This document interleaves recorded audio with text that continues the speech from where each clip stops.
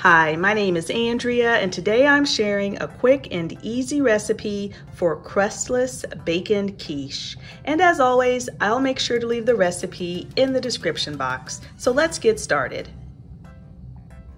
So we're gonna start off by cracking and adding our room temperature eggs to a bowl. Next, we're gonna add our room temperature milk, salt and pepper to taste, unsalted melted butter, and our Bisquick baking mix. And we're just gonna whisk it together until it's nice and smooth.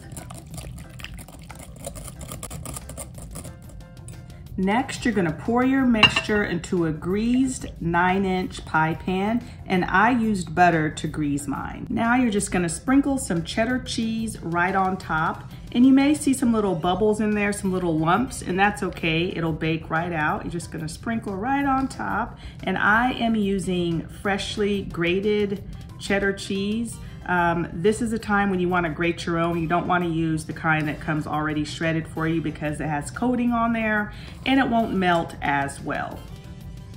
And finally, you're to take some cooked chopped bacon and you're just to sprinkle it right on top. I've got my oven preheated to 350 degrees. I am going to bake this quiche for about 40 to 45 minutes or until that center is set. Okay, so here is the quiche. I baked it for 40 minutes exactly. When I pulled it out of the oven, it was puffed up, but as you can see, it did flatten right out. So here it is a little bit closer so you all can see.